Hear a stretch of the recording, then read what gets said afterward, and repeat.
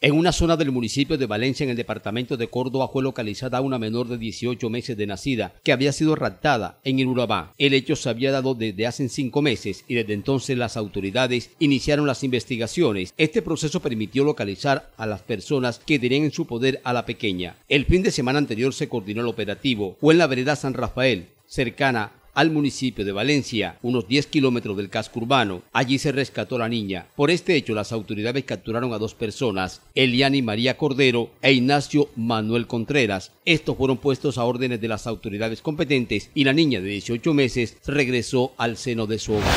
La Junta de Administración de Servicios Públicos de Capurganá llegó a un acuerdo con el IPSE sobre el futuro del fluido eléctrico de ese corregimiento. Bueno, en estos momentos de crisis eh, esperamos que las cosas se solucionen lo antes posible y también en un acto de responsabilidad.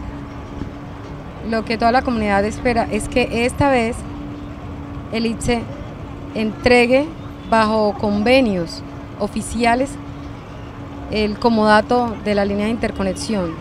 JACEPCA se encuentra en disposición de asumir los mantenimientos de la línea de interconexión bajo la del nuevo esquema de regulación de energía. Pues la 091 no permitía que, esto fuera posible y como se comenta sobre la mesa que sería un 50% para JACEPCA y un 50% para Encelca, pues también estaríamos dispuestos a asumirlo bajo la nueva resolución. El representante del Consejo Comunitario de Capurganá expresa que la solución no es interconectarlos con Acandí, que para que el problema se solucione de raíz la conexión debe ser con el sistema nacional. La solución no es la interconexión entre, entre Acandí y Capurganá. Nosotros queremos estar es conectados con el sistema nacional, eh, cosa que, que nos garantizaría a nosotros un mejor servicio o un mejor fluido eléctrico. Entonces para eso insistimos eh, reiterativamente que de una vez por todas el gobierno nacional eh, se ponga serio y nos resuelva eh, eh, financiando esta, esta interconexión que no solamente quedaría Candí interconectado, sino que también va a quedar el municipio de Unguía.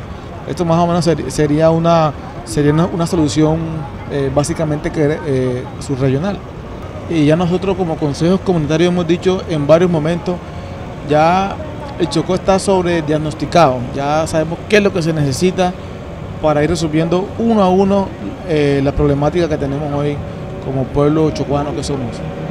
Básicamente obedece a una voluntad. Desde que haya voluntad por parte de, los, de los, de los gobernantes, seguramente esto en cuestiones de, un año, dos años, tres años, pudiéramos tener el, los municipios de Unguilla y de Acandí interconectados al cable nacional. Los habitantes de Capurganá esperan una rápida solución para que se mejore la situación de ese corregimiento. Y con este repaso por las principales ciudades de nuestro departamento y el país, llegamos nosotros a la parte final. A ustedes mil gracias por acompañarnos en esta emisión. Los esperamos mañana en punto de las 6.30 de la mañana con todas las noticias. Feliz noche para todos.